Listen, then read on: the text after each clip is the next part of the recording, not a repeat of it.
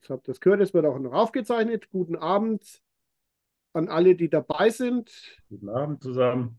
Wir begrüßen uns wieder gegenseitig. Ich bin noch etwas ruhiger, noch etwas angeschlagen.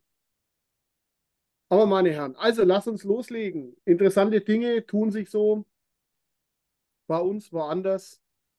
Ja, schönen guten Abend erstmal, Leute. Schön, euch wieder zu sehen. Prima. Ja. Lasst uns die Dinge auseinandernehmen. Wir haben schon mal ein bisschen geredet. Ich gebe einen kurzen Überblick über das, was wir heute reden wollen. Herzlichen Glückwunsch erstmal an alle Ungedruckmittelten. Ihr lebt ja noch, ne? Obwohl äh, unser Gesundheitsminister vor einem Jahr ja sagte, nach dem Winter sind alle, alle tot oder gedruckmittelt. Jo, wir leben noch. Gut, also herzlichen Glückwunsch, einjähriges zum einjährigen Geburtstag. Unser Überblick heute, wir gehen vom Inland ins Ausland. Wir beginnen mit der Tagesschau dann am besten mal. Ne? Die informiert uns ja auch immer. Und dann äh, möchten wir das eigentlich so ein bisschen kontrastieren damit mit den Themen, die wir heute mitgebracht haben. Inland ins Ausland. Marc wollte über die Immobilien mal erzählen, die Lage an, an den Immobilienmärkten. Wir werden weitermachen mit Inflation und ein paar Dingen, die sich hier eben abspielen. Dann kommt als Thema die Pipeline-Sprengung und die Avengers und die, die ukrainische Spezialeinheit. Danach müssen wir unbedingt über die Ukraine reden, wieder einmal über Bachmut, die Lage dort, die Erklärungen, die verschiedenen, die herausgegeben werden von unseren Generälen oder von dem NATO-Generalsekretär. Ähm, wir gucken auch mal zum Scott Ritter rüber, und müssen dann noch über Georgien, die Hintergründe da und China und diplomatische neue Aktivitäten da reden. Es wird spannend. So, so weit einmal. Das wäre unser. Ähm, dann würde ich das Wort dem, dem Martin schon übergeben, der dann einleitet in unsere Sendung. Alles klar. Ja, also so meine, während ich jetzt versuche, den, okay, du, äh, die Freigabe des Teilnehmerbildschirms musst du noch aktivieren, Frank. Ja. Also so meine, meine letzte Verbindung zum Mainstream ist, dass ich mir hin und wieder mal den Spaß mache, in die Tagesschau-App reinzugucken. Und das habe ich auch heute mal wieder gemacht und bin einfach nur baff, was man da wieder sieht. So, also ich habe, äh, was ihr jetzt hier sehen könnt, ist, ich habe einfach 18.45 Uhr, könnt ihr hier sehen, ich habe einfach Screenshots gemacht, was die Top-Meldungen in der Tagesschau-App sind. Also da haben wir das, äh, die erste Meldung, homosexuelle Paare sollen den Segen erhalten durch die katholische Kirche. Dann haben wir der Innensenator Grotte spricht von einer Amoktat, da geht es um die Hamburger, äh, um den Hamburger Anschlag. Aufruf zu Warnstreiks im Gesundheitswesen, Kita-Plätze unfair verteilt, schon mehr als eine Million Einsprüche. Also hier bis hierhin haben wir nicht ein einziges internationales Thema und vor allem wir haben nicht das alles beherrschende Thema Ukraine. Das kommt erst als sechstes Thema. Und da ganz wichtig, da ist ja sonst nichts los. Also Kiew hat wieder Strom und Wasser. Das war also die, das, was die Tagesschau äh, am wichtigsten hält, von der Ukraine zu berichten. Dann gehen wir weiter. Die UN wollen die Ölpest vor Jemen verhindern. Da muss ich jetzt ehrlich sagen, das habe ich gar nicht mitgekriegt. Dann kommt Xi, ist für die dritte Amtszeit bestätigt. Das wiederum ist ziemlich interessant, weil Xi halt, ähm, ich sage jetzt mal, in der anti-westlichen Organisation eine wichtige Rolle hat, sage ich mal. Dann kommt, Biden will die will Steuer für Reiche erhöhen. Dann kommt die Todesstrafe bei Hochverrat in Belarus. Ähm, Kommunen, äh, Baden-Württemberg muss mehr Geld in Schulen investieren. Äh, Corona-Bußgelder können zurückgefordert werden. Das ist vielleicht für den einen oder anderen von euch interessant, von den nicht bedruckmittelten. Und dann sind wir schon beim Wetter. Also das sind die wichtigen Sachen, die uns die Tagesschau bringt. Ich habe es nochmal ganz kurz zusammengefasst hier. Ähm, wir hören also nichts über Nord Stream. Vor zwei Tagen war ja ein beherrschendes Thema, dass die Ukraine ja äh, jetzt im Verdacht ist, Nord Stream ge äh, gesprengt zu haben. Die Ukraine ist, wie gesagt, das sechste Thema. Äh, es geht nur um Strom und Wasser, also eigentlich keine internationale Relevanz. Wir hören überhaupt nichts über Bachmut, wir hören nichts über die militärische Lage. Äh, wenn man dann reingeht in die Meldung, also wenn man da auf Ukraine, Strom und Wasser klickt, dann kommt irgendwo um 17.37 Uhr hat der Zelensky dann mal bestreit, bestritten, dass die Ukraine beteiligt war. Das ist allerdings erst im Untertext, also ist der Tagesschau noch nicht mal eine Schlagzeile wert.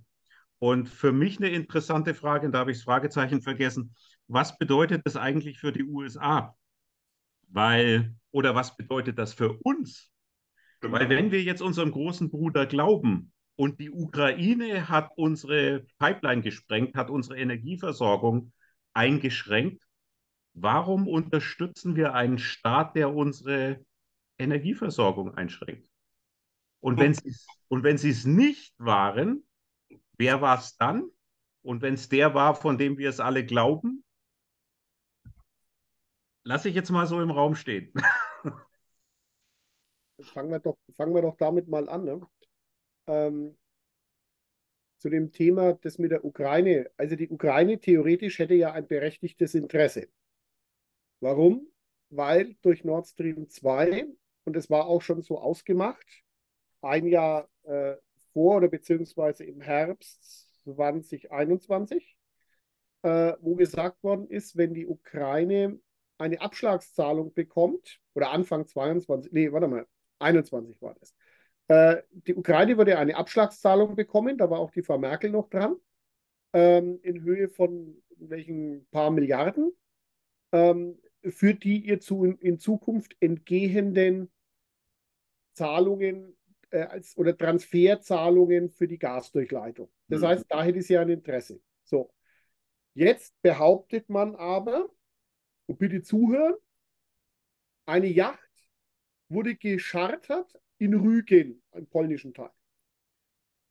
Und mit dieser Yacht sind dann sechs Mann, äh nein, fünf Mann, eine Frau, ich glaube, ein Doktor war dabei, hinausgefahren an die Stelle, wo diese Pipelines denn liegen. Dann sind zwei Taucher, da gibt es eigentlich weltweit nur ganz wenige, die sowas können. Also wir reden hier tatsächlich davon äh, in circa 100 Meter Tiefe, da ist auch spezielle Ausrüstung erforderlich. Also das kaufst du jetzt nicht im Tauchshop nebenan, ja, wo du mal sagst, ich hole mir mal eine Flasche und äh, was weiß ich, zwei Flaschen. Du brauchst spezielle Gemische, du brauchst äh, in der Ostsee auch gewisse, äh, weil die ist ja kalt, ne? also Anzug und so weiter und so fort. Und dann bringe ich dort äh, zielsicher an drei, eigentlich sind es ja vier Röhren Sprengstoff an.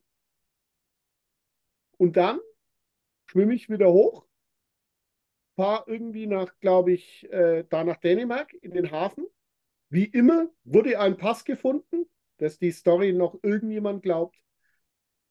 Und dann, ja, dann verschwinden die. Sicherlich wird man die zeitnah finden. Die werden wahrscheinlich sich der Festnahme widersetzen und dann auch erschossen werden oder irgendwas, weil dann können sie nichts mehr sagen.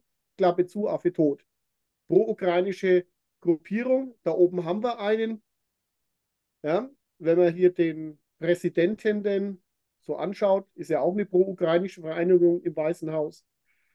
Könnte man sich, äh, ja, genau, ach ja, und den Sprengstoff, den kaufst du auch irgendwo ums Eck. Also wir reden hier von speziellen Materialien, die kriegst du nicht irgendwo. Und du kaufst die auch nicht im Baumarkt und mischst die zu Hause zusammen. Also das heißt, wenn es so wäre, müsste dort Wissen zumindest von Geheimdiensten sein. Ich meine, gut, vielleicht war es auch James Bond, man weiß es nicht, oder das ukrainische Pendant. Vielleicht war es auch der Zelensky persönlich. Kann sich aber nicht mehr daran erinnern. Aber das ist einfach Fakt. Das erwähnen die nicht. Und das kommt aber jetzt raus, nachdem dann der Enthüllungsjournalist ganz klar äh, Beweise vorgelegt hat, kommen dann solche Geschichten. Wer glaubt es? Fragezeichen, Ausrufezeichen. Wer das glaubt, dem brauchst, mit dem brauchst du dann auch über gar nichts mehr reden. Äh, äh Marc, du bemühst dich sehr, das so, so ähm, jetzt zu untermauern ich habe mich die letzten Tage ein bisschen umgeschaut in, in den alternativen Kanälen. Ja, die sprühen eigentlich vor Spott, ja, weil eben die Unglaubwürdigkeit dieser Geschichte so, so offensichtlich ist, dass äh, die jetzt auch mit den Avengers, deswegen diese Folie, mit den Disney Avengers werden die verglichen, ja, ganz rechts.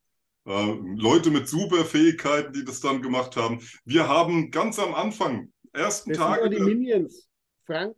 Ich die, die Minions habe ich nicht. Die ersten Tage ähm, nach der Sprengung haben wir gehört, es kommen sogar nur ganz wenige Staaten in Betracht, die die Fähigkeiten, Fertigkeiten, das Material und so weiter haben. Und jetzt will man uns sagen, so, ja, fünf Schlauer, Schlaumeier hätten das getan. Ähm, du hast die Pässe angesprochen. Man, auch die, links dieser Witz dann, dieser Bildwitz, ähm, liegt mal wieder ein Pass da. Wer glaubt das noch? Ähm, da habe ich mir einen Spaß gemacht, eine Folie nochmal zusammenzustellen. Da schalte ich mal rüber zu. Ähm, typische Orte für verlorene und wiedergefundene und noch gut lesbare Reisepässe.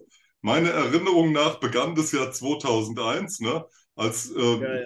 World Trade Center zu Staub gemacht wurde, aber der Pass überlebte mit, mit diesen ganzen ähm, äh, Terroristen, die da mit, mit Teppichmessern da äh, laboriert haben sollen. Dann hatten wir das 2015 bei Je suis Charlie, wir hatten es 2015 im November beim Stade de France, ähm, wir hatten es 2016 am Breitscheidplatz in Berlin, 2016 im Dezember dann in Nizza mit dem LKW-Fahrer. Ähm, der hat, beim Breitscheidplatz hat er die Duldung unter dem Fahrersitz gehabt. Gut, und 2023 jetzt sogar in der Ostsee. Haben sich diesmal länger Zeit gelassen, ja.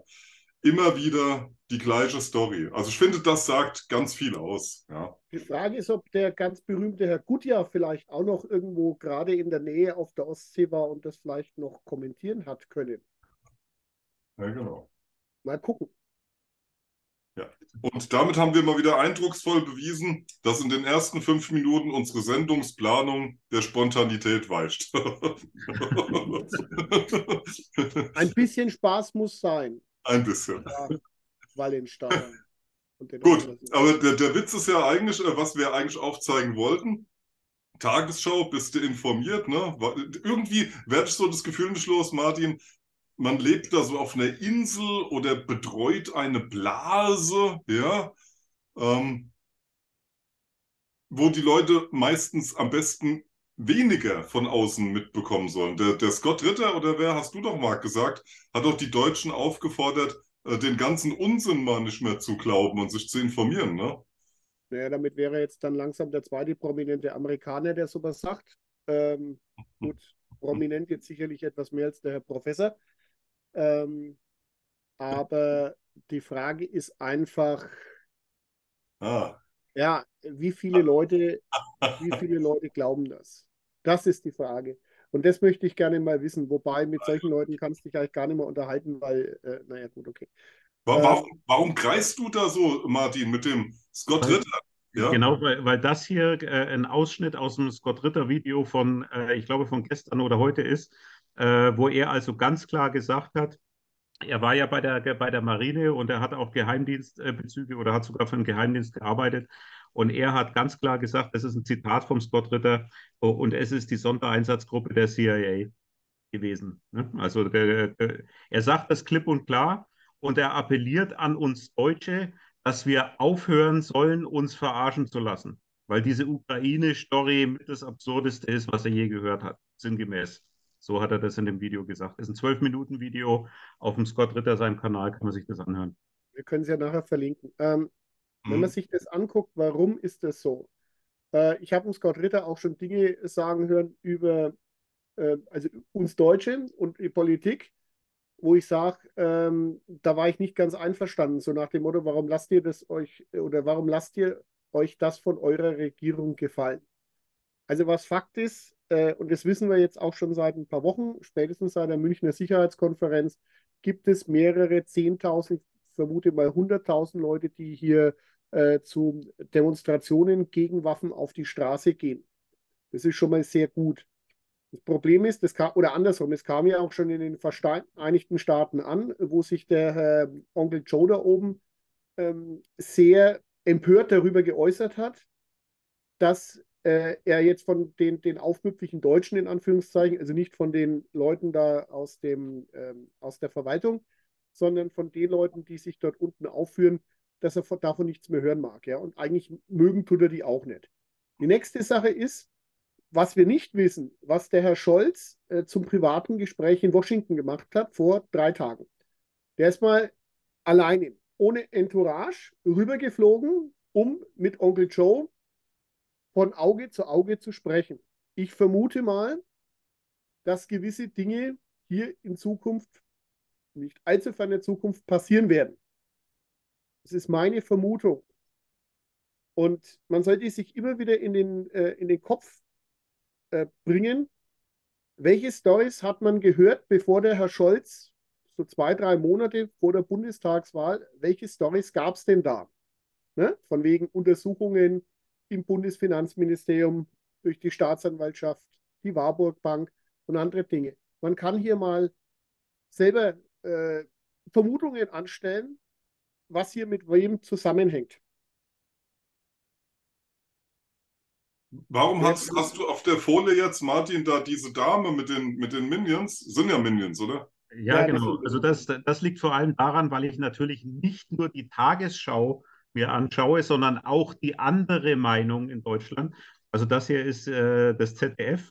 Und diese Dame hat uns nochmal äh, erklärt, wer also die Täter waren. Ich hoffe, dass der Ton rüberkommt. Wir hören es uns einfach mal an. Cool.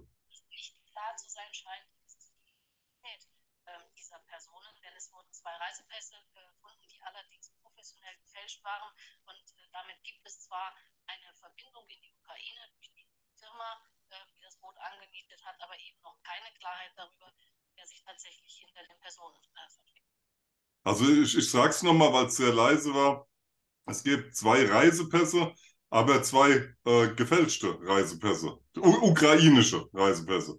Sodass dann der, der kritische ZDF-Zuschauer äh, natürlich fragt, von wo kamen die wirklich? Die, die gefälschten Ukrainer. Und dann landest du ganz schnell wo, ne? Genau. Also, können wir, können wir eines dazu sagen. Das ist echt gut, ey. Nur mal so als kleiner Seitenhieb. Sie spricht ja von Personen und wer sich hinter den Personen versteckt. Also wer versteckt sich hinter den Datensätzen? Wer immer noch nicht den Unterschied zwischen Mensch und Person hat, bitte das selber nachholen. Äh, und dann gibt diese Aussage durchaus einen gewissen Sinn. Man kann ihnen nicht vorwerfen, dass sie nur lügen. Musst aber jetzt wirklich doppelt denken dann, ne? Wer versteckt ja, hinter den Personen? Ja, also, Leute, ich meine, eines darf man diesen Vögeln durchaus unterstellen. Vögel? Nicht alle sind doof und einige wissen sehr genau, was sie sagen. Ja, ja. Also mal vielleicht von der Außenministerin denn abgesehen, aber viele andere auch in den Medien, weil du stellst da keinen rein, der Scheiße erzählt. Also in den seltensten Fällen, der da bewusst nicht weiß, was er sagt. Das brauchen wir uns nicht einbilden, dass die dumm wie Brot sind. Die sitzen woanders. Das sagt ja keiner. Nein, man sollte das bloß immer im Hinterkopf haben. Ja, wir, wir, kriegen immer so ein paar Späßlemacher, die kriegen wir nach vorne. Zum Draufdreschen. Ja, wobei die jetzt, naja, gut, lassen wir das lassen. Gut. Ja, so. Ist da eigentlich Prinz Harry? Nein, der schaut nur so aus. Okay. Was natürlich auch noch ganz wichtig ist, also ich wollte auch noch mal ernst werden und äh, Moment genau äh, und eine technische Folie zeigen. Ähm, also hier auf der linken Seite sehen wir den hochgeheimen Taucheranzug, der höchstwahrscheinlich zum Einsatz gekommen ist, ähm, dort an der Sprengstelle. Und Gott sei Dank haben wir nicht nur Pässe gefunden, sondern wir haben auch ein aktuelles Phantombild von den Terroristen, die äh, Nord Stream 2 gesperrt, äh, gesprengt haben. Ach ja, die Yacht haben sie gefunden, ne? Ja, ja, da, da auf dem Bild rechts ist sie ja. ja. Da ist sie ja, Marc. Die mit dem Herzen auf dem Segel. Ja. Äh, ja. In der schlecht überwachtesten Zone überhaupt auf diesem Planeten.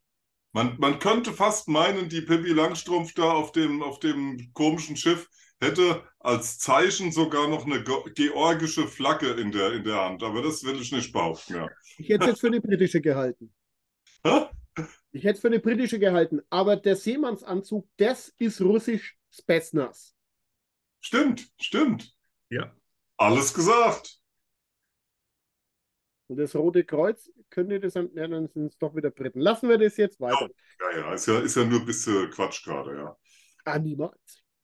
Ja, und die, die Frage bleibt natürlich auch, ähm, Viele Leute fragen sich immer, Mann, warum reitet ihr immer so auf der Ukraine rum? Ja, ist doch so weit weg im Grunde, ist noch nicht mal in der EU, geschweige denn in der NATO. Warum seid ihr so viel beim Ukraine-Krieg? Äh, Kurzantwort darauf. Wir glauben, ich glaube, ich kann für uns alle drei reden, wir glauben, dass in der Ukraine das Schicksal dieses Systems hier entschieden wird. das, das Schicksal der NATO, das Schicksal der EU und dass von dort eine Neuaufteilung der Welt ausgehen wird. Das ist jetzt das ganz große Bild. Ich äh, denke, ihr seid da auch einer Meinung mit mir, oder? Absolut, ja. Ja. Also das vielleicht für die Leute dann als Hintergrund, warum, warum interessiert ihr euch? Machen wir heute ja auch noch äh, für Bachmut und so Städte, die ich vorher nie gehört habe. Deshalb. Ja, deshalb, ja. Okay. Ähm, ich würde trotzdem erst noch mal ins Inland gehen. Da Dann ich, gehen wir. tut mir leid. Ähm, da hätte ich noch mal gleich eine Folie. Warte mal. Ah, jetzt habe ich es hab hier verdüdelt. Bin gleich soweit, Leute. Ja, ja. Ich schlage noch mal in der Zwischenzeit den Artikel da auf. Schläfst noch mal ein bisschen. So, so rum geht's besser. Okay.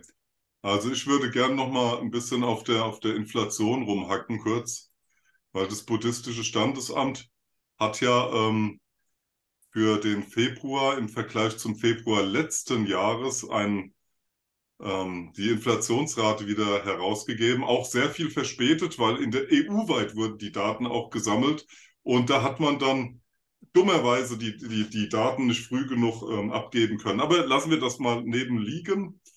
Ähm, 8,7 Prozent werden uns also insgesamt genannt. Dabei seien knapp 20 Prozent für Energiepreise und äh, etwas über 20 Prozent dann für Verbraucherpreise und Nahrungsmittel. Ähm, inwiefern das Ganze wahr ist oder mit der Eigenwahrnehmung korrespondiert, sieht jeder selbst im Supermarkt. Ich habe ein kleines Filmchen hier und das möchte ich euch gerne vorführen. Ja, hat einer einfach die äh, Preise verglichen.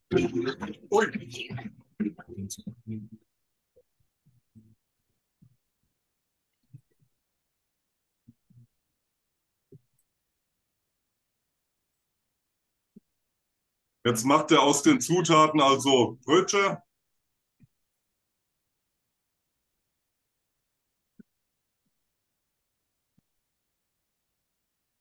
Wow. So, ja. Also er hat einfach schön verglichen, ähm, Bresso, wie es hochgeht. Mein Lieblingsding ist ja immer Kochkäse von 79 Cent auf 1,99 und so weiter. Und es, es ging jetzt sehr schnell. Es ging sehr schnell. Ich, ich mach's nur mal, man sieht es hier zum Beispiel, Sandwich Toast. Also ich kann mich da erinnern, das war bei 79 Cent, jetzt sind wir bei 1,50.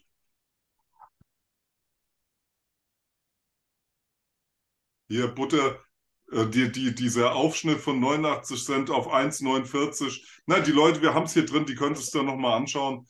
Ähm, das sind bei mir keine 20 Prozent für Lebensmittel. Auch meine Gas- und Strompreise sind keine plus 20 Prozent an Inflation. Ich frage mich, was die für einen Schamanen im buddhistischen Standesamt ha haben, der die, die äh, Prozentzahlen da ja, sieht in der Glaskugel oder keine Ahnung. Mhm. Vielleicht tun die auch den Warenkorb so lange zufällig würfeln, bis äh, solche Prozentzahlen herauskommen können.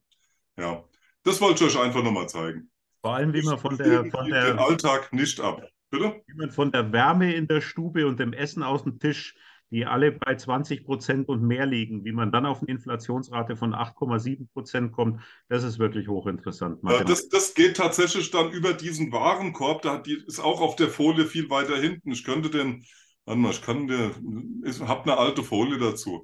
Ähm, man geht dann hin, da ist es schon, ich blende es gerade ein, und vergibt auf die verschiedenen Ausgabearten Prozente. Ja, da hast du dieses Ding. Das ist der Warenkorb. Ja, und da ist dann halt viel, viel mehr mit drin. Deine Gesundheit, verschiedene Übergruppierungen dann mit äh, dem Bildungswesen, mit Studiengebühren zum Beispiel, Privatschulen, Privatschulen, da hast du ja schon wieder Erwachsenenbildung, wenn du einen Volkshochschulkurs machst. Muss, man muss ja alles erfassen. Ich habe mir heute den Spaß gemacht, diesen Warenkorb als PDF mal runterzuladen. Und dann hast du dann x DIN A4 Seiten, die in ihrer Gewichtung dann gezeigt werden. Für jedes einzelne Gut, ähm, bis du überhaupt nicht mehr durchblickst. Das ist wieder dieses Ding, mach Sachen so kompliziert, dass sie dann unnachvollziehbar sind. Also tatsächlich, man sieht es an diesem Kreis, sieht man es immer noch am ehesten, ja. Da steckt also der Warenkorb dahinter, Martin. Mhm. Also was, was natürlich wirklich beruhigt, dass die Teuerungsrate im Bildungswesen von nur 0,9 Prozent, dass die die Inflationsrate deutlich nach unten bringt. Also ich werde mir dann doch überlegen, ob ich nochmal studieren gehe, weil dann komme ich wenigstens auf meinen Schnitt. Wenn du dann siehst, was in unseren Schulen abgeht, ähm, das wird 9 Franks Freiheit mal machen, dann verlierst du den Glauben. Ja, gut. Ja, Marc, ja, Das wäre mal ein Thema für eine Sondersendung, äh, beziehungsweise wirklich, dass sich das jeder mal überlegt. Äh, Erwachsenenbildung. Ähm, das ist tatsächlich ein Thema, darüber sollte jeder nachdenken. Jetzt nicht aufgrund dieser Grafik, oder dass man sagt, man rennt jetzt unbedingt in die nächste Volkshochschule.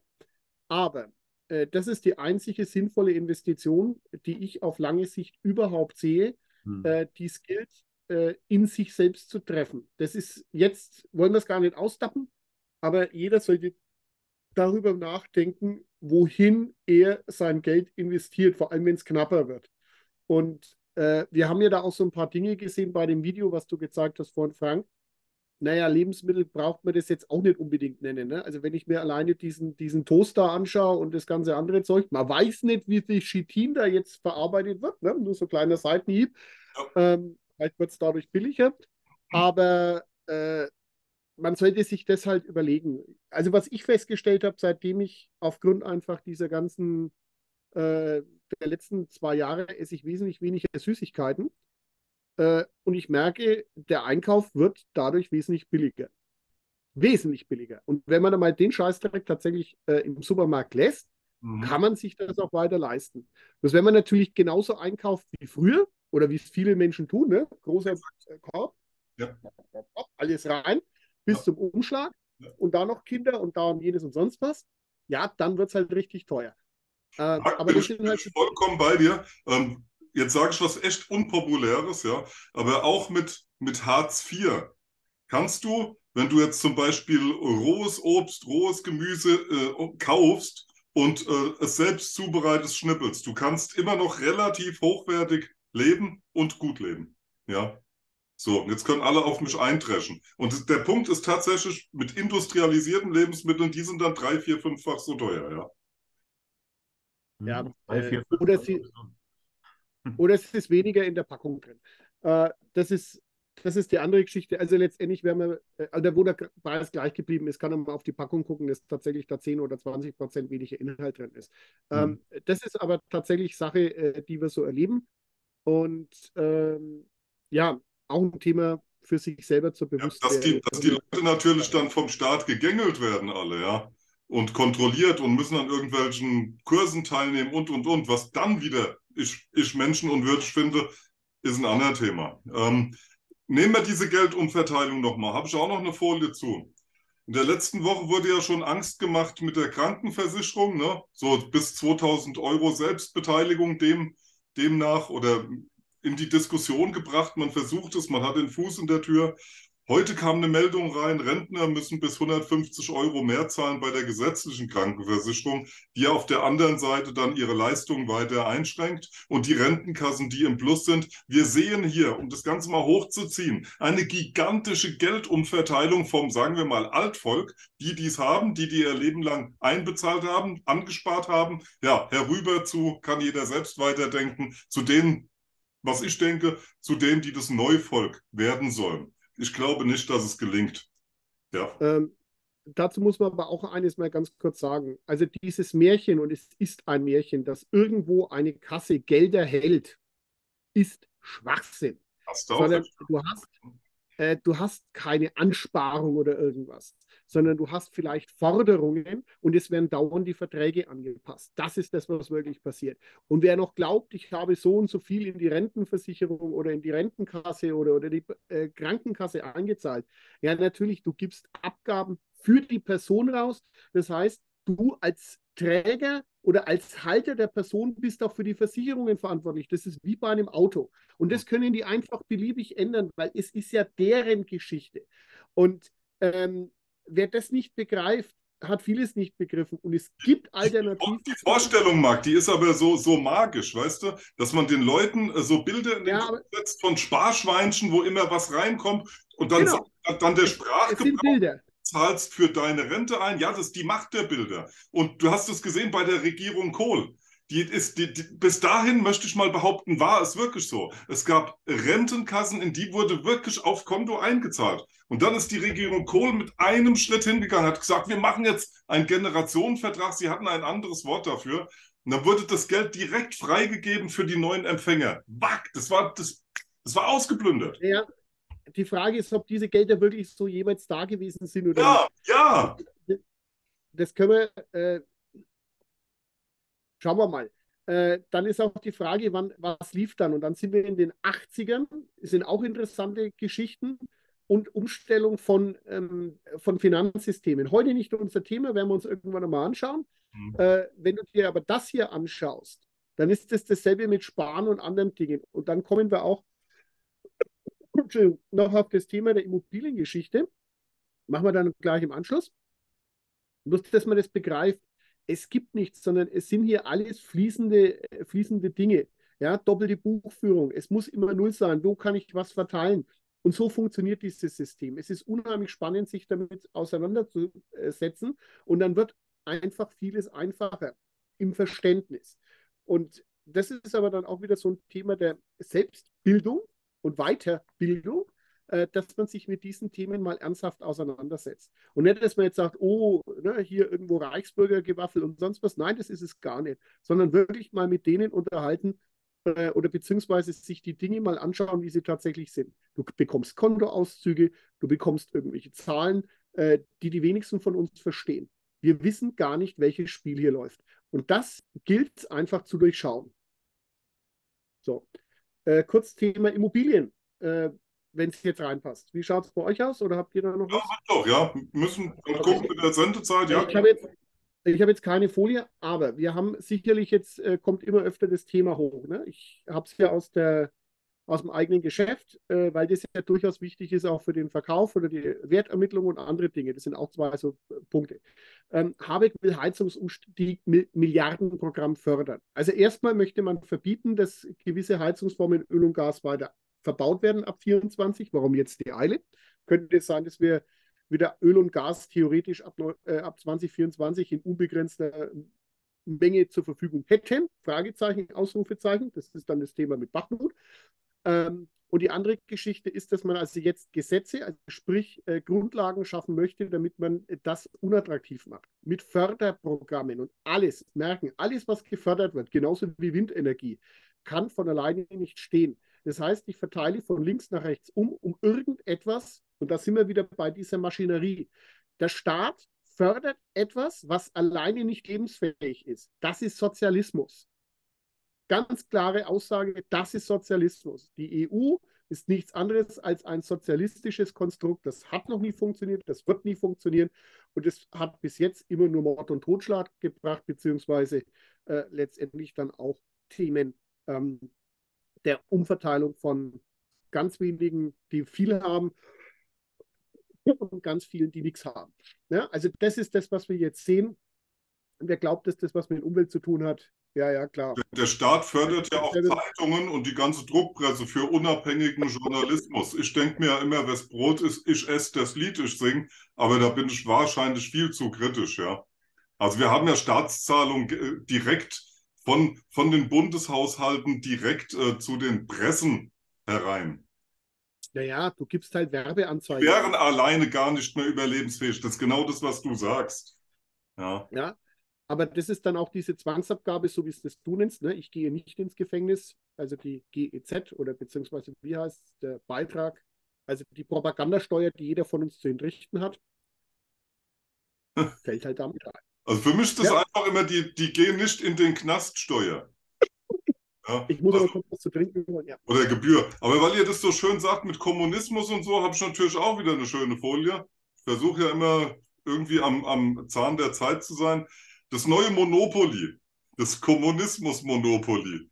Du hast, die ganzen Straßen sind jetzt dann Staatseigentum.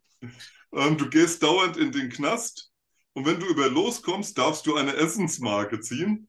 Ja, gibt- und dann gibt es immer Essensmarken oder Enteignungskarten. Das spielt ja auch in dein Immobilienthema dann rein, Marc. Ne? Dann was, was wir da auf dem Immobilienmarkt erleben, ist ja im Grunde eine stille Enteignung, oder wie würdest du das äh, sehen? Also, also eine beginnende stille Enteignung, ja.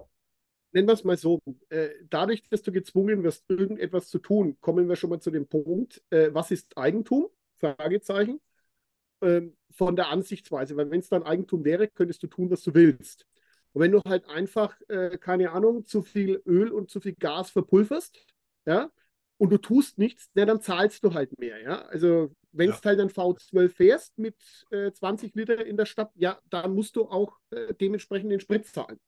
Ähm, wenn dir aber dann irgendjemand vorschreibt, dass du jetzt hergehen musst und sagst, dein, dein Haus vielleicht auch Denkmalschutz, ich meine, das ist ja alles noch nicht äh, hundertprozentig fest, ähm, und vor allem von der EU kommt es ja auch noch und klimaneutral und sonst was. Und immer wenn irgendjemand schreibt klimaneutral, also sprich gleich null, ne, ausgeglichen, dann sind das buchhalterische äh, Dinge. Und ich sehe, ob tatsächlich jetzt ein Lastenausgleich kommt oder nicht. Aber diese Zahl mit den Heizungen, warum 24? Weil du dann gezwungen sein wirst, in Förderprogramme reinzugehen. Diese Förderprogramme wirst du nur bekommen, wenn du dementsprechende Grundschulden aufnimmst. Ja? Das heißt, du wirst einen Anreiz bekommen, dass du von denen Geld nehmen musst. Also umgekehrt, du gibst denen Kredit in Form einer eingetragenen Hypothek auf deinen sogenannten oder dein sogenanntes Eigentum. So wird es vermutlich laufen. Und wenn du das nicht tust, ja, dann wirst du eben geprüft oder beziehungsweise kriegst Strafzahlungen oder sonst was. So wird das laufen. Das ist zumindest das, was ich sehe. Und ich weiß auch, dass die KfW jetzt schon ähm, seit ein paar Monaten, glaube ich, oder noch länger, äh, auch Leuten anbietet, äh, in den sogenannten, in einen Fonds einzuzahlen, äh, der dann später für die Umstellung des digital, auf, das, auf den digitalen Euro dienen soll. Das heißt, das ganze Ding ist schon lange in der, äh, mehr oder weniger in der Tüte. Und naja, vielleicht haben wir ja Glück, ähm, wenn tatsächlich der Russe kommt, weil dann ist das Thema weg. Hm. Also meine, meiner Ansicht nach ähm, widerspricht sich bereits das Zahlen von Grundsteuern ja, mit dem Begriff des Eigentums. Wenn, denn wenn etwas wirklich mir ist, dürfte darauf der Staat gar keine Steuern mehr erheben dürfen. Denn dann wäre es ja, was ich hier habe, kein Eigentum. Wenn ich Grundsteuern bezahle, dann wird es ja der Pacht viel ähnlicher. Ja. Dass ja, ich einen Salär bezahle, um ein Grundstück nutzen zu dürfen. Ja? Im Grunde ist es dann da wieder. Und was du gesagt hast, Marc, was wir momentan erleben, ist, glaube ich, den, den Umbau des Immobilienmarktes von, von einem Hetzen von hoch zu hoch über, über Zwangssanierung, über das Herunterrechnen des Künstliche von Immobilienwerten in eine, in eine BES auf dem Immobilienmarkt. Ja dass man dann irgendwann den Leuten für billig Geld ähm, ihre Angebote macht, ihre maroden, im Sanierungsstau sich befindenden Häuser äh, abzukaufen von Staatsseite und, Seite, und dann landest du bei diesem Monopoly hier. Das ist jetzt übertrieben, aber in diese Richtung geht es. Du brauchst sie nicht abkaufen, äh, sondern du brauchst nur Kredite drauf machen von staatseigenen Banken. Und das ist die KfW-Bank. Also sprich, wenn du ein Förderdarlehen willst, Deswegen wird es angeboten. Dann musst du ja richtig Geld in die Hand nehmen. Also wir reden jetzt nicht von 5000 Euro, sondern dann wird die energetische Sanierung gefordert von der ganzen Hütte. Genau. Oh. Ja, das heißt Fenster, Fassade, Heizung, whatever. Ja. Und das, das heißt, das, du baust Entschuldige, wenn ich unterbreche. Und das ist aber dasselbe Prinzip wie die Grundsteuerzahlung, dass du jemanden immer wieder zwingst, im System zu bleiben und Geld, ähm, Geld für, diese, für diese Anlage ähm, aufzunehmen. Ja? Und nicht aus dem System draußen zu sein. Also du hast auch keine Wahlmöglichkeit letztendlich, darum geht es. Ja, ja. Und das ist das, was ich sehe, ähm, weil das sind einfach Gelder, Ne? Entweder kommt es dann, dass du sagst, angespartes Geld steckst du dann da rein und viele freuen sich dann wieder, ach, mein Häusler, sonst was hin und her. Äh, und diese ganze Geschichte ist ja beliebig veränderbar und skalierbar. Und es gibt gewisse Dinge, die sind technisch einfach nicht machbar. Und das ist zumindest das, was ich sehe. Aber ich glaube, ich werde, wenn da genug Interesse ist, ich werde mal eine Umfrage reinstellen, werde ich da mal ähm, eine extra, extra Thematik äh, mit Immobilien und anderen Dingen, was die Aussichten angeht.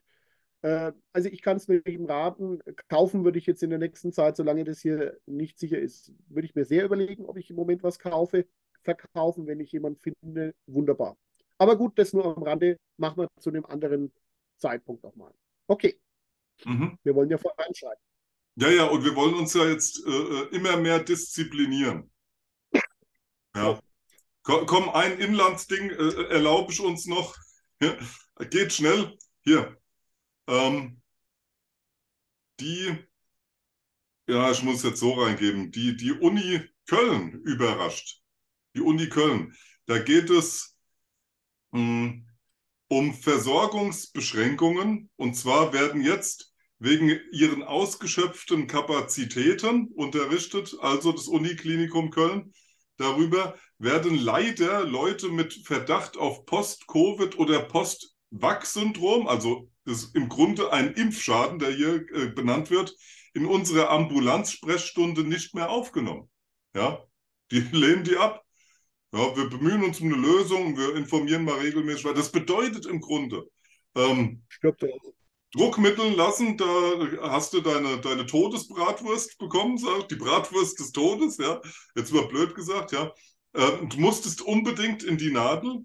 Wenn du jetzt aber Nebenwirkungen davon hast und wir haben immer mehr Menschen und immer weniger werden anerkannt, die müssen darum kämpfen und werden dann noch äh, in die Ecke gestellt als Schwurbler und so etwas, ja, werden noch, ähm, okay. Und dann werden sie jetzt nicht mal da behandelt. Ja, also ich finde es bedenklich. Wollte ich mal kurz. Ja, das ist doch konsequent. ja.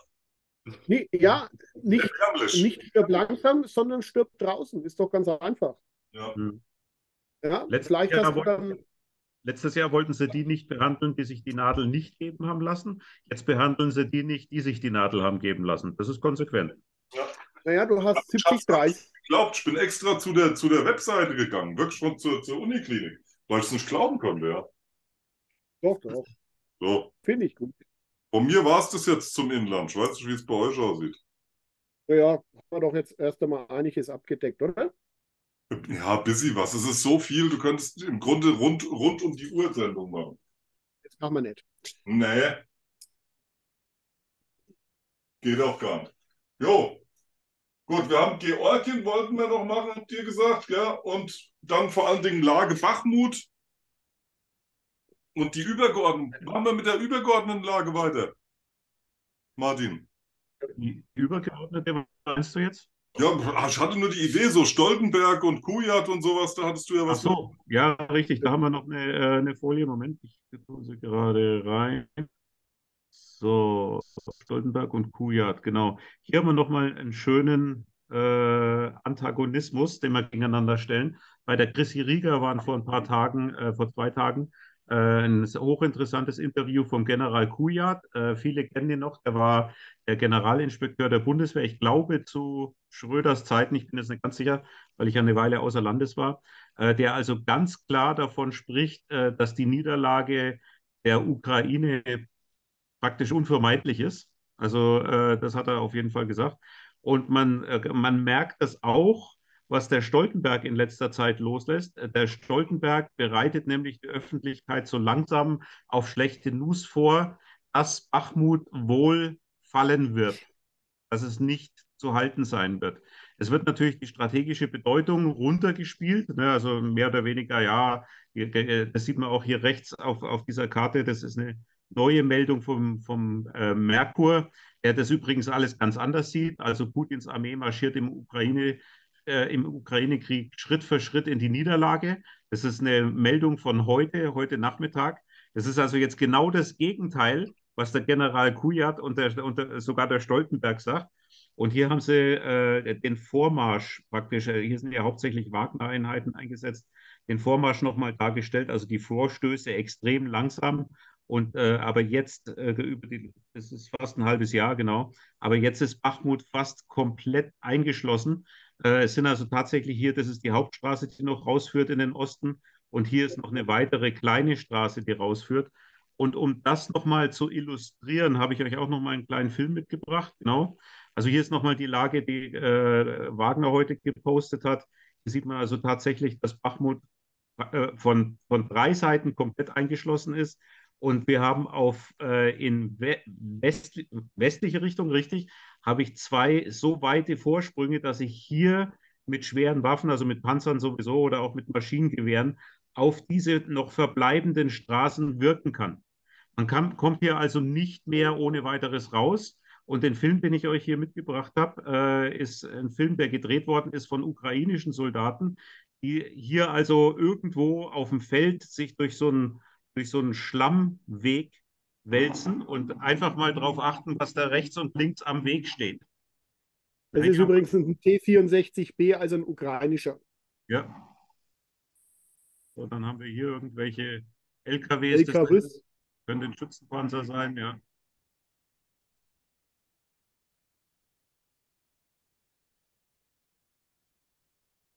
Also man sieht hier, das ist das Gegenteil von der befestigten Straße und die ist übersät mit abgeschossenen Fahrzeugen.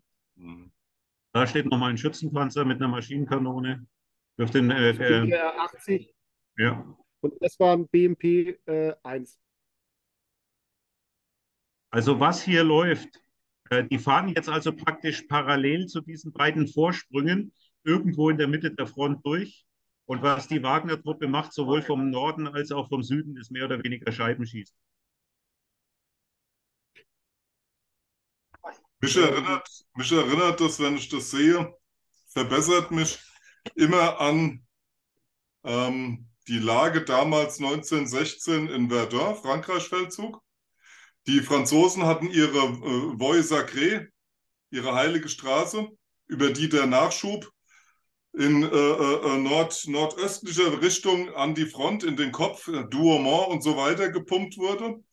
Ähm, es war, warum, warum spreche ich davon? Weil das ein Abnutzungskrieg war. Das war die Blutpumpe, ja, wurde es genannt. Die äh, Verluste waren ungefähr gleich hoch auf beiden Seiten. Hier erscheint mir das zwar taktisch genauso, allerdings genau wie du es jetzt gesagt hast, Scheiben schießen, ähm, so dass das Verhältnis für die, stark für die Russen spricht. Das bedeutet, die Initiative liegt bei den Russen. Die, ähm, es ist eine Abnutzungsschlacht, wo immer wieder auch der Scott Ritter sagt, die Munitionsvorräte des Westens langen nicht.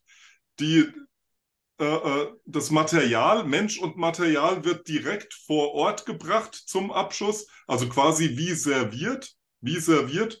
Und mir scheint hier ein einziger Gewinner bei dieser Lage ähm, zu bestehen, das sind die Russen. Allein schon in der taktischen Ausrichtung. Und das unterscheidet es von Verdun. Ansonsten erinnert es mich immer so ein bisschen dran. Wie seht ihr das? Was der Scott Ritter heute übrigens auch noch gesagt hat in dem Video, das ich schon vorher zitiert habe, ähm, äh, dass in diesem Krieg, in diesem Abnutzungskrieg, und auch das ist ganz ähnlich zu Verdun, dass die Artillerie eine unheimlich wichtige Rolle spielt. Ja, genau. Und, äh, ja. und, hier hat sogar der Stoltenberg zugegeben, dass die Ukraine im Moment in der Lage ist, und zwar an der gesamten Front, äh, zwischen 5.000 und 6.000 äh, Schuss Artillerie am Tag zu verschießen, während die Russen weit über 20.000 verwenden. Und ja. im Westen also spricht man auch davon, dass, keine, äh, dass sowohl nicht nachproduziert werden kann im ausreichenden Maße, als auch die, das, was vorhanden ist, immer weiter runtergefahren wird. Also der, der Scott McGregor, ne? Der hat sich jetzt geäußert. Der war ja mal Berater vom US-Verteidigungsministerium. Der sagte, wir haben die Russen unterschätzt und jetzt sitzen wir da und starren auf die Katastrophe, die gerade stattfindet. Weiter, die Armee, die wir in der Ukraine bewaffnet haben, wurde zerstört. Das deckt sich ja sogar mit unserem NATO-Oberst Reisner, der gesagt hat, die wird schon zweimal zerstört. Ja, Sie verlieren jeden Tag Tausende von Menschen. Dies ist grob gesagt ein ganzes Bataillon. Wir haben Russlands Bedenken nicht ernst genommen. Wir dachten, es wäre eine Gelegenheit, Russland zu verletzen. Alles, was wir erreicht haben, ist die NATO geschwächt, unseren eigenen Ruf geschädigt und jetzt müssen wir zugeben, dass wir einen Fehler gemacht haben und uns einigen müssen. Wenn wir dies nicht tun, was wird die Russen davon abhalten, den Dnieper zu erobern, Kiew zu besetzen und die polnische Grenze zu erreichen? Nichts. Also sehr drastische Worte. Ähm, seht ihr das auch ja, so? Ich meine, ich habe ja eine Folie, dass die Polen auch ihre Grenzen aufarbeiten. Ja, Marc, entschuldige. Also äh, vielleicht nochmal ganz kurz zu dem Thema, äh, wenn man jetzt das vergleicht mit ursprünglichen Schlachten oder was auch immer die Frage ist, ne? große russische äh, Winteroffensive und sonst. Also, wir wissen, dass die Russen sich jetzt äh, auch die letzten Monate durch Einzug ihrer mindestens 300.000 Mann, wahrscheinlich sind es 400.000, äh, personell so stark verstärkt haben und nicht, weil sie Verluste erlitten haben im Sommer, sondern weil einfach die halbjährige äh, Vertragsdienstzeit bei den Soldaten, die anfänglich eingesetzt war, zu Ende gegangen ist. Deswegen waren auch diese Offensiverfolge in Anführungszeichen der Ukraine möglich. Das ist so gut wie zurückgefahren. Äh, das ist Punkt eins. Punkt zwei ist, wenn wir das jetzt sehen, denen ist auch klar, wobei solche Sperren, die sind lachhaft. Das nächste ist, man hat äh, durch die amerikanische Seite, auch durch, die, durch Leute wie den Herrn Borrell, äh, hat man jetzt äh, auch die letzten Wochen die Staaten dazu aufgerufen, ihre letzten Munitionsreserven und sonst was freizugeben, weil sonst wäre der Krieg verloren. Also, was heißt es? Dass tatsächlich Leuten plötzlich bewusst wird, da ist nichts mehr irgendwo zwischendrin. Also noch ist was zwischendrin, das ist richtig. Ähm, und wir nähern uns aus meiner Sicht dem Szenario, äh, dass irgendwann, wenn es zu Verhandlungen kommt, auf den Tisch kommt, NATO-Truppen raus aus Osteuropa. Und das hm. können die Russen fordern. Und es hängt auch mit, der, mit diesen Aussagen zusammen, egal was passiert, wir werden die Ukraine in die NATO holen, wir werden sie wieder aufrüsten und sonst was. Äh, wer so dumm ist und glaubt, dass man das nochmal zulassen wird von russischer Seite, ja gut, okay, der glaubt doch, dass CO2 klimaschädliches Gas ist. Okay, ähm, wenn man sich das jetzt anschaut, es steht tatsächlich nicht mehr viel dazwischen. Wir haben den Artikel oder den, den, das von der Bildzeitung gehabt. Die Bundeswehr ist nicht verteidigungsfähig. Natürlich nicht, weil keine Munition da ist, weil das Material nicht da ist. Und wenn man sich anschaut, wie bei uns die Bü Bürokratie ausschaut, bis zum Beispiel irgendwo mal ähm, eine, äh, wie soll man sagen, eine Fabrik aufgemacht wird oder äh, überhaupt tatsächlich die Produktion wieder hochgefahren wird. Es ist ja keine Situation, die jetzt äh, vollkommen aus dem Himmel gegriffen war, sondern das hätte man wissen müssen. Also zumindest auf äh, entscheidungsträchtiger Seite. Man hätte die Munitionsproduktion äh, hochfahren können, schon zumindest im Sommer, da war es absehbar. Die 6000 Schuss können sie auch nicht mehr leisten, die Ukraine, wenn es hochkommt, 4000. Die Amerikaner haben nichts mehr zum Nachliefern, die haben sämtliche Depots auch in Israel geplündert, die man dort angelegt hat. Äh, jetzt geht es tatsächlich ans Eingemachte. Also bis zum Sommer hieß es, muss die Verein müssen die Vereinigten Staaten zu einer Lösung kommen, weil dann die Frage ist, äh, geht es jetzt um geopolitische Dinge oder geht es ums eigene Land? Das haben US-Generäle schon gesagt und Analysten. Das heißt, die werden aus meiner Sicht werden die weitermachen oder sie entfernen jetzt Onkel Joe irgendwann. Also das sind noch drei Monate, wovon wir reden. Die nächste Geschichte ist, äh, waffentechnisch ist auch noch ein Thema. Äh, der Iran gibt jetzt Gerüchte, Iran verstärkt äh, also jetzt seine Verbindungen mit Russland. Dorther kommen Drohnen. Die Russen haben angekündigt, sie werden den Iranern äh, Su-35 Kampfflugzeuge liefern.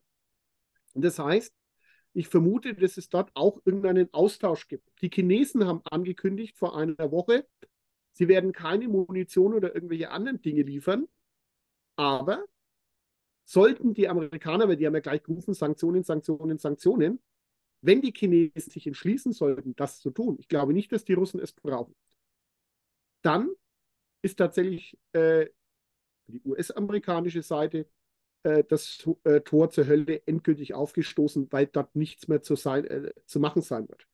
Also, dass man diese Zusammenhänge versteht. Warum dieser Abnutzungskrieg? Wem nützt der?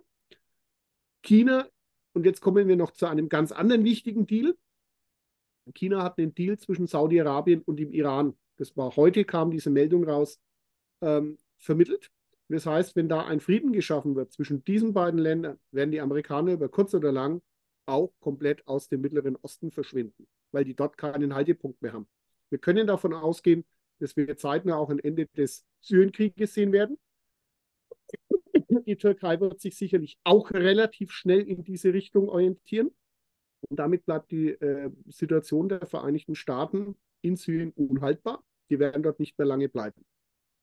Also das ist so, das sind so die Prognosen, die kommen. Der Petrodollar wird auch über die nächsten Jahre verschwinden.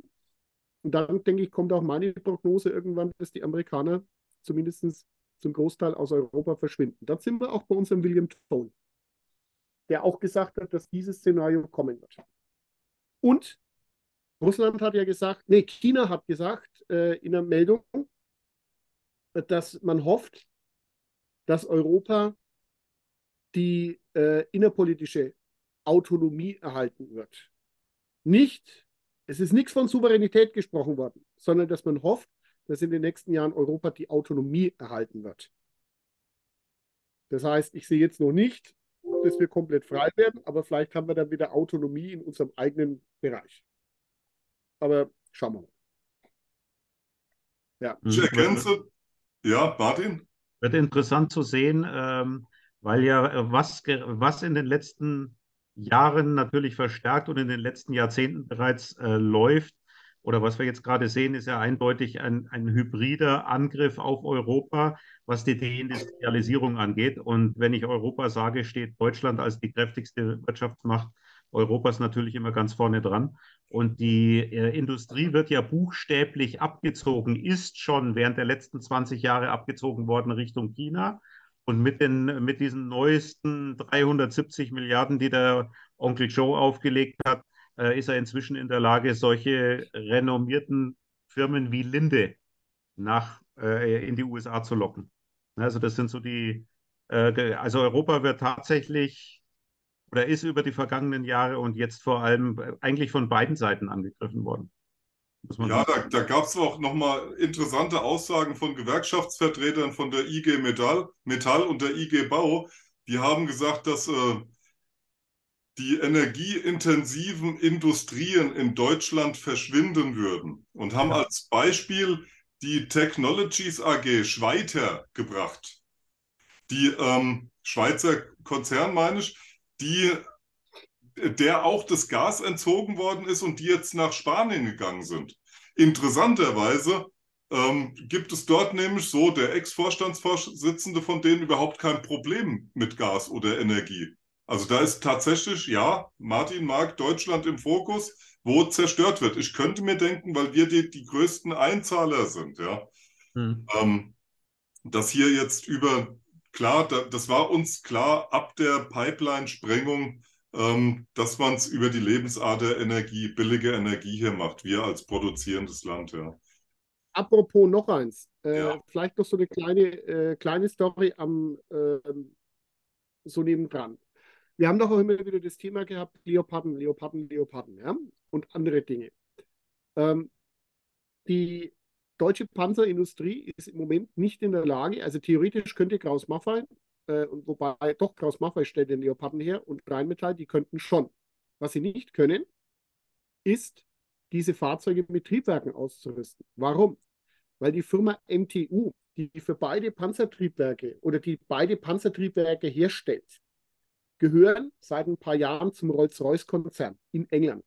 Und ich habe einen Bericht gelesen, dass die MTU in Friedrichshafen sich äh, an die britische Tochter oder beziehungsweise an die britische Muttergesellschaft wenden müssen, wenn sie einen Gabelstapel, Gabelstaplerfahrer einstellen wollen. Geschweige denn, wenn sie einen äh, mehr Mitarbeiter äh, äh, einstellen wollten für Panzerproduktion, also für Motorenproduktion.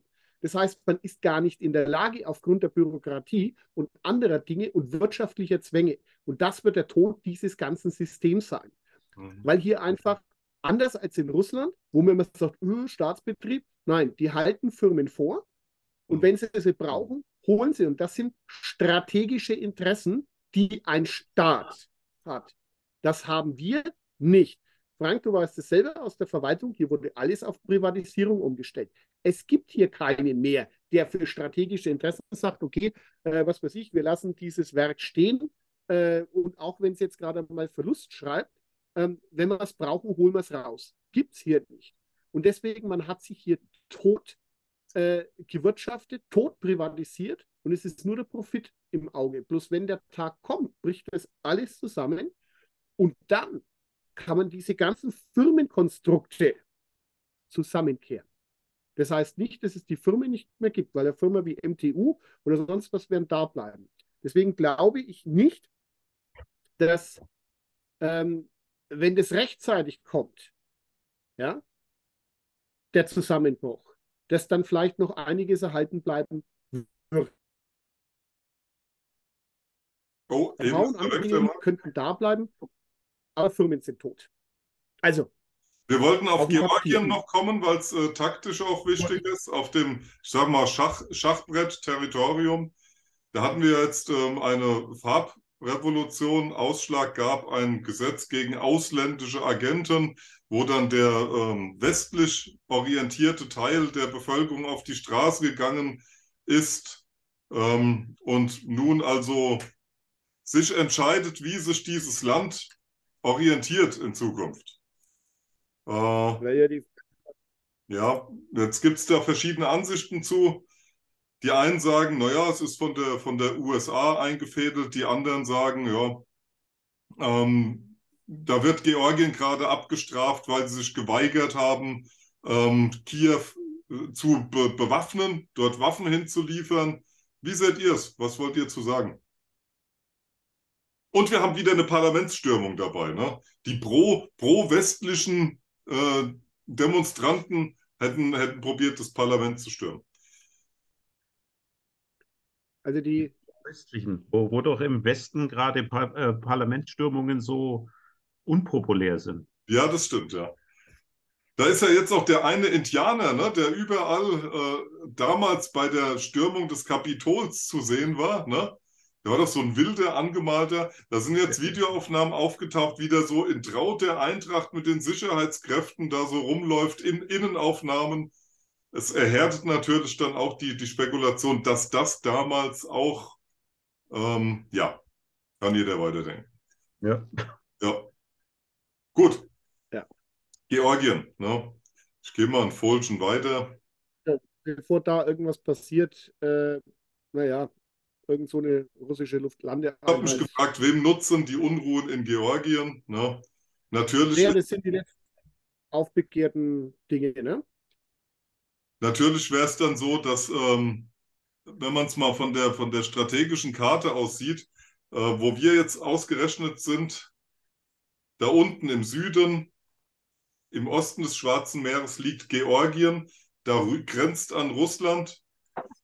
Ähm, wäre es natürlich sehr hilfreich, wenn man jetzt nach Estland und Lettland und der Ukraine eine weitere, sagen wir mal, Front hätte oder in der Peripherie des russischen Staates einen weiteren Unruhefaktor. Wem nutzt es also? Ja, der NATO oder eben den US-Interessen, wenn dort jetzt Unruhen ausbrechen. Oder wie seht ihr das? Mhm, absolut.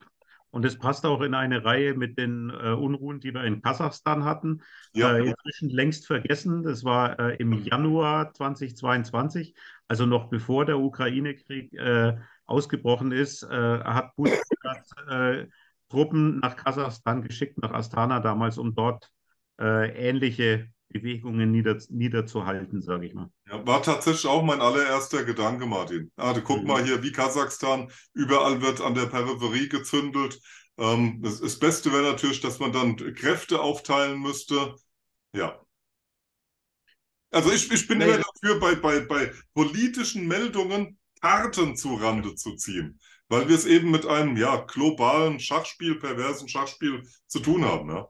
Mhm. Aber das sind die letzten Zuckungen äh, eines Systems, was sich lange auf solche Dinge äh, vorbereitet hat.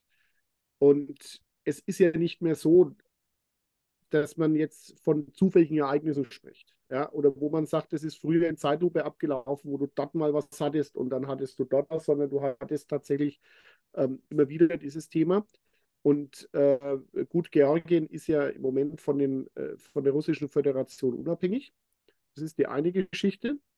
Äh, es hat schon mal einen Krieg gegeben, 2008. Der war dann relativ schnell vorbei.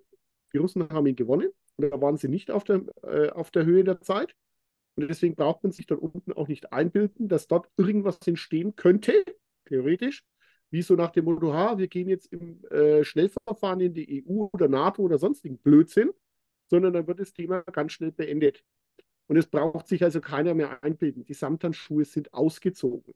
Deswegen äh, mag es sein, dass dort unten vielleicht jetzt ein bisschen terzt, aber es wird, äh, es wird an der Gesamtsituation jetzt nichts ändern.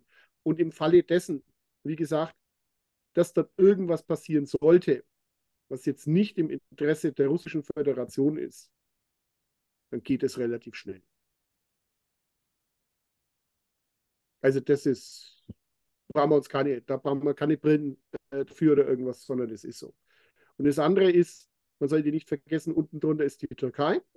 Die Türkei ist jetzt, der, aus meiner Sicht, äh, warten wir mal ab, bis im Mai die Wahlen sind mit Erdogan. Ähm, naja, und die sind ja auch schon dabei, ihr Bett zu machen. Und das heißt für mich, über kurz oder lang wird die Türkei aus der NATO aus, also ob sie austritt oder ob man sich einfach anders orientiert. Aber ich glaube einfach, dass die NATO in den nächsten drei bis vier Jahren spätestens dann zerfallen wird. Und dann sind die Karten sowieso neu gemischt. Ja. Also das wird kommen. Deswegen, da mache ich mir jetzt keine Gedanken. Die Zeiten, dass da jetzt irgendwas passieren könnte oder dass man äh, dort sich zu fein wäre, vielleicht tatsächlich mit russischen Fallschirmjägern reinzugehen. Ja gut, in Berlin, in, in Berlin werden sie ja nicht gebraucht, ne? Naja, wieso? Das kommt schon noch. Es ist ja auch noch Polen zwischendrin. Du, du meinst, Polen wäre noch offen? Nein, Polen ist noch nicht offen.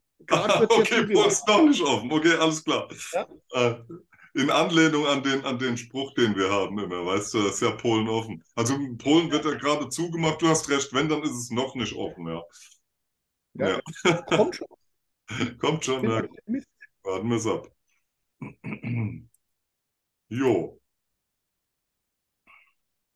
Eine, eine Hinweise noch? Haben wir noch irgendwas zu erzählen? Ich habe ja, ich habe noch so eine, eine, ein bisschen eine Abschlussfolie die ein bisschen lustig ist, ja, weil wir haben ja sehr viele Demonstrationen momentan in Deutschland, Friedensdemonstrationen, ähm, die aber weitgehend unbeachtet sind vom Mainstream, berichtet ja kaum einer drüber.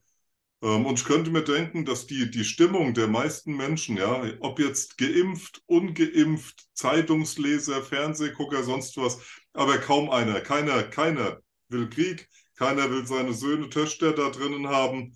Keiner möchte oder die wenigsten Krieg mit Russland. Keiner möchte Kriege unterstützen mit Waffenlieferungen. Wie unsinnig, währenddessen wir hier Rentner haben, die dann mehr, mehr bezahlen sollen für Gesundheitslieferungen. Will keiner. Ja? Deswegen nochmal hier eine, eine kleine Folie dazu. Und mittlerweile sagt man zu den Friedensdemonstranten ähm, Friedensschwurbler. Ne? Friedensschwurbler sind es jetzt. Und ich finde das sehr schön, wie man das da in, hier rechts in den Kontext stellt ein rechter Aufmarsch von Friedensschwurblern 1968 unkoloriert, ja. Ähm, da, daran sieht man, wie sich, wie sich Zeiten ändern, ja, und Ansichten ändern dann. Ja. So, so könnte man das jetzt tatsächlich äh, im ZDF oder sowas, könnte ich mir vorstellen, hört man das wirklich so, ja. Hm. ja. Und dann links. 1900, ja, bitte.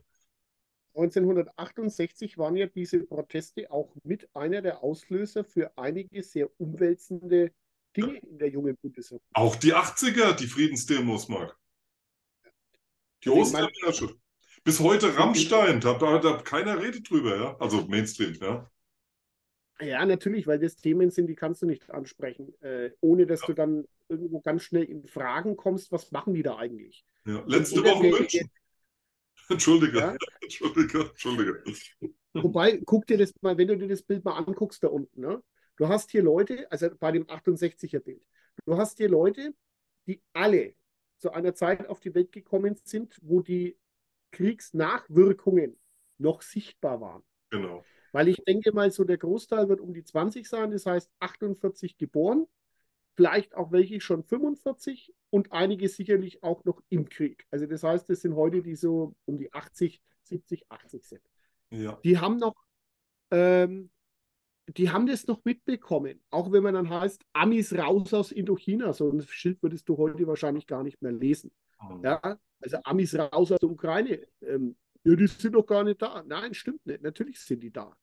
Ähm, und das sind halt alles so Dinge, das sollten wir uns wieder ähm, irgendwo ins, äh, ins Gedächtnis zurückrufen. Man sollte sich tatsächlich überlegen, wenn diese oder wenn es da solche großen Demonstrationen gegeben hat. Gut, auch die Frage, wer hat diese ganzen Schilder und sonst was zur Verfügung gestellt, auch die hat mal irgendjemand produziert. Ist auch eine Thematik. Aber es war zumindest eine weltweite Bewegung da, äh, die dagegen protestiert hat. Und das hat in den Vereinigten Staaten letztendlich dann im Umkehrschluss auch zu Themen geführt, wie Rassenunruhen, wie äh, einem Zusammenbruch letztendlich auch der Unterstützung für Vietnam. Und eine ganz interessante Zahl. Ähm, in den 1968 äh, werden die wenigsten, fast keiner sich daran erinnern, wie das mit dem Vietnamkrieg war. Im Höhepunkt des Vietnamkrieges, 66, 67, haben die Vereinigten Staaten eine halbe Million Mann vor Ort gehabt. 1968 gab es die sogenannte Tet-Offensive des Nordens in Vietnam. Der führte nicht zu einem Überrennen des Südens, aber er hat zu einer Situation geführt, die für die Vereinigten Staaten nicht mehr zu gewinnen war. Und am Höhepunkt dieser, dieser ganzen Geschichte, also habe ich mal die Zahl gehört, dass der Wille, diesen Krieg in den Vereinigten oder den Krieg der Vereinigten Staaten zu unterstützen, dann zusammengebrochen ist, als 50 tote GIs Ja, pro Woche mal. nach Hause gingen. Ja, 50. Da ist es zusammengebrochen. ja. Und wir reden Aber man heute, wenn hat damals daraus gelernt, Marc. Weißt du, man hat Naja. damals gelernt. Ja. man was- hat schon daraus gelernt. Was dann, Aber was ich sage, ähm, ganz kurz, Frank, ja. In, in Russland hofft man immer, dass, dass jetzt eine Offensive kommen würde und dann würde, würde Russland zusammenbrechen. Ja? Ein scheißerles Deckel. Wir haben im Moment Verlustzahlen, offizielle, die die BBC nachgeforscht hat jetzt im März, von ungefähr 16.000 gefallenen russischen Soldaten, inklusive Wagner, inklusive Milizen. Wir haben Verlustzahlen circa von 150.000 gefallenen ukrainischen Soldaten. Ein Verhältnis von 1 zu 10. Das spiegelt auch tatsächlich den, den massiven Einsatz dieser Artillerie wider. Und das sind, wenn man es jetzt mal hochrechnet, ungefähr eineinhalb, ja, 1200 bis 1500 Soldaten, die gefallen nach Russland zurückkommen. Also auf die Woche runtergebrochen zwischen 200 und 300. Die Vereinigten Staaten sind bei einer Zahl von ungefähr 50 bis 100, ist der Wille zusammengebrochen. In Russland siehst du gar nichts, sondern die gehen den Weg, weil die wissen, es geht um ihre Existenz und dass hier, dass das kein Zuckerschlecken ist, ist denen bekannt. Und das ist das, was dem ganzen Westen nicht eingeht. Man sollte sich überlegen, was hier los wäre, wenn du jetzt hättest plötzlich, was weiß ich, 20, 30 Bundeswehrsoldaten, die dann tot in Särgen nach Hause kommen, weil sie an der Ostfront draufgehen. Ich glaube nicht, dass das so lange hier dauern wird. Meinst du? Ich habe laut gelacht, als ich zum ersten Mal in Leipzig ein Schild sah von 8 bis 20 Uhr in der Fußgängerzone äh, Maskenpflicht. Da dachte ich mir, das kriegen die nie durch. Also dieses Vertrauen habe ich. Ähm, Ja, zu, deiner, zu deiner Offensive. NTV redet ja gerade jetzt schon wieder von einer ukrainischen Frühjahrsoffensive. Das, das nur mal nebenbei. Ja. Ja, ja. Aber das hat der, der Martin auch mit dem Münchner Merkur eben schön illustriert. Hm. Immer bis zur letzten Sekunde, ja. Ähm, zu dem linken Bild möchte ich ganz gern nochmal was sagen. Ähm, das ist ja sehr, sehr deutlich, ja. Und wenn man mal abseits des GEZ und der öffentlich-rechtlichen Medien irgendwo guckt, in den sozialen Plattformen, sonst wo, wird man solche deutlichen Forderungen überall sehen. Das heißt, abseits von, von der, von der GEZ-finanzierten Medien äh, werde ich langsam den Eindruck oder habe ich den, den Eindruck, dass die längst nicht mehr die Meinung der Mehrheit der Menschen abbilden. Längst nicht mehr. Sie haben aber Reichweite, Geld und Einfluss. Den haben sie, ja. Erstens, und, und das mag, dieses Bild mag als Beispiel dafür dienen, ja dass sehr, sehr viele Leute hier im Land, und ich würde sagen, die Mehrheit, spätestens beim Thema Krieg, eine ganz andere Meinung haben als das, womit sie jeden Tag zugedröhnt werden. Wir, man sollte Friedensverhandlungen for, fordern, diplomatische Lösungen fordern. Krieg ist, ist und bleibt ein Verbrechen. Und ich finde es unaushaltbar, dass diese, unsere Regierung, das unterstützt. Ja, Ja, bin ich voll dabei. fertig. Und gerade wenn ich mir dieses Ja, ja. 68er-Bild angucke, äh, einige von denen, die, die dort am Demonstrieren sind, sind die, die heute am lautesten nach, Waffen, nach Waffenlieferungen schreien. Ja, genau. Ganz genau. Die sollten selbst mal an die Front oder ihre Kinder dort an die Front liefern. Ja, dann. Aber, ja. aber Leute, das meine ich damit. Die, die jetzt schreien, und schaut euch die Vögel an, die da drüben in dem Karton abgebildet sind. Das sind nicht die, die auf dem Plakat sind, sondern das sind die, die von diesen Leuten dann erzogen worden sind. Das heißt, das hier sind die Eltern von den Affen da drüben. Das Mhm. muss man einfach mal ganz klipp und klar sagen. Schaut euch die äh, Leute an. Ein Lindner ist irgendwelche Anfang 40. Die Bär, äh, Bärbockende auch irgendwas. Das heißt, das ist jetzt meine Generation. Ich mit 45. Und Mhm. das heißt, Ende der 70er, da war nochmal Babyboom, Anfang Mhm. der 80er. Mhm. Das heißt, da sind die Kinder mitgeschleift worden, zum Teil. Aber sonst sind die in Zeiten aufgewachsen, also bewusst, ob sie jemals bewusst geworden sind, ist was anderes, aber die in der Zeit bewusst geworden sind, wo diese Gefahr niemals da war, die haben sowas nicht erlebt. Und, die sind durch amerikanische Schulen gegangen, die sowas auch nie erlebt haben. Ja klar, Frankfurter Schule etc. Ich finde aber interessant, dass ähm, wa- was ist da passiert? Das ist interessant, was du da sagst, gesellschaftlich, weil ähm, die Linken von damals, die ja eben auch gegen Krieg etc. waren, wa was ist auf dem Weg passiert, dass sie die Kinder so großgezogen haben, ähm, dass die jetzt wieder so vor den Karren gespannt werden können? Da, das, das ist eine eigene Sendung wert. Ja, das sollten wir unbedingt mal machen. Äh, wirklich, dass man sich damit auch mal drüber unterhält, weil das waren ja auch Leute, die geschrien haben, entweder nein, ich gehe nicht zur Bundeswehr, ich verweigere, das ist das eine, Ja. oder äh, die in äh, die glückliche Position, ja, wohl so lange ist es noch nicht, aber die in der Position waren, wo sie es raussuchen konnten. Das heißt, die haben keinerlei, ähm, keinerlei Haftungspunkte mit dem Militär gehabt, außer dass sie vielleicht mal irgendwann äh, in der Nähe von einer Kaserne oder sonst was gewohnt haben oder vielleicht mal ein paar Grüne äh, auf dem Bahnhof äh, stehen haben sehen. Und das aus meiner Sicht kommt genau raus, wenn du Kindern nicht erklärst, was Panzer sind, was Panzer anrichten können. Das ist der Punkt. Mir, mir kommt das, mir Ja, kommt Ja, gut. Mir kommt es manchmal so vor, als wären die, die Linken von damals irgendwie stehen geblieben. Sie betrachten sich als reaktiv, reaktionär ähm, und, und gucken immer in die Vergangenheit und sehen nicht, dass sie heute vor den Karren gespannt werden. Begreifen das überhaupt kein Stück. So, so sehe ich das ein bisschen, ja. weil sie es noch niemals begriffen haben. Und weil sie in einer Mentalität der nicht vorhandenen Eigenverantwortung aufgewachsen sind. Jeder hat ihnen immer irgendwo alles abgenommen. Und das ist, das ist tatsächlich auch äh, dieses Krankheitsbild dieser Gesellschaft. Mhm. Jeder ist für ir- irgendein anderer ist für irgendetwas verantwortlich und übernimmt es. Ne? Das ist dasselbe mit der Krankenversicherung. Ach, dann kann ich aber nicht mehr zum Doktor gehen. Ja, verflucht, warum rennst du denn auch hin? Ja? Äh, was erzählt er dir denn, wenn man mal drüber nachdenkt? Natürlich, wenn du dann Armbruch hast, wirst du zum Chirurgen gehen dürfen.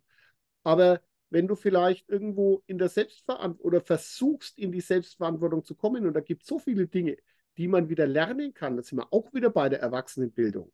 Ja, da müssen wir hinkommen. Guckt euch mal die Jugend Ah, an. ja. Ja, die haben das alles nicht mehr. Heilpra Und das- Heilprakt Mach dir Gedanken, warum Heilpraktiker verboten werden sollen. Ja, Gestern, gestern war ich bei, beim, beim Türken, ja, Pite gegessen. Der, ich hole ja auch Wasser jetzt immer an der Quelle, ne? Brauchst dir nicht zu sagen, wer, wer sowieso seit Jahren schon an die Quelle geht. Nämlich mein besagter Türke. Ja, ich habe eh den Eindruck, dass da, da sind ganz viele Türken, Osteuropäer, die sind noch nicht so zivilisationsverblödet wie wir. Die haben diese Nein, ich Prozesse, die du beschreibst, Marc, nicht mitgemacht, ja? Auch das, was ich in Zypern so gesehen habe, deswegen finde ich das ja höchst interessant, wenn man sich diesen Wirtschaftsräumen auch zuwendet. Dort sind die Leute, entweder sie sind einfach noch verbunden, ja, mit äh, der Ja. Erde und mit anderen Dingen. Ja. Und äh, natürlich äh, sind die auch an Geschäften und anderen Dingen interessiert, aber die sind nett und freundlich und hauen sich eben nicht die Köpfe ein. Das heißt, hier werden auch Bilder erzeugt, die einfach nicht richtig sind. Und das müssen wir uns auch mal abgewöhnen. Rausgehen, wieder selber Sachen anschauen und wieder schauen, dass ich in die eigene äh, Verantwortung komme, äh, auch meine, wie soll man sagen, so der Bilder, die man im Kopf hat, dass man die mal los wird. Sind halt so Dinge, Ja, genau. die, Hier, das, deswegen kam ich da drauf, wegen der eigenen Verantwortung. Und der, der Türke, Marc, hat, der hatte erzählt, der ist irgendwie von der Leiter gefallen, hatte Wirbel, vierte, fünfte gestaucht, war im Krankenhaus, sollte operiert werden, sagte auch, wurde massiv unter Druck gesetzt, direkt von den Ärzten. Und ist da erst mal, darf ich mal zwei Minuten telefonieren, ist auf dem Flur, hat mit seiner Mutter telefoniert. Die hat gesagt, lass es sein. Wir haben da unsere Dorfschamanen, die erzählt dir schon, was du machen musst. Er sagt ganz einfache Sachen, aushängen, er ist dann aus dem Krankenhaus raus. Aushängen, nicht mehr setzen. Bestimmte Verhaltensregeln hat er bekommen und ist dann ohne OP. Ja? Und die, die haben das noch drauf, diese Selbstverantwortung. Oder auch parallele Strukturen, die glauben noch an so Schamanen und sowas. Oder die Dorfheiler und sowas. Die, die haben, ja, verstehst du, da sind die Strukturen noch nicht kaputt. Ja, und hier wachsen sie langsam wieder. Also das ist das eine, weil die, die gibt es ja auch schon, Ja. Mhm. äh, aber sie werden so verteufelt. Und das ist einfach der Punkt, den zu erkennen gilt. Aber gut, Jo, wir sind über die Zeit. gell? genau, bevor wir jetzt zu sehr ins Schwafeln kommen, fünf Minuten drüber, 80 Minuten, ich denke, das ist okay. Jo. Ja, Jo, wie gesagt, Leute, dann machen wir Schluss. Aber Ja. wir haben interessante Dinge gemacht, wo wir vielleicht mal Sondersendungen machen sollten. Ja, sehr schön. Bin sehr zufrieden mit der Sendung. Lief, lief toll, ne? Ich finde, wir sehr schön, sehr schön.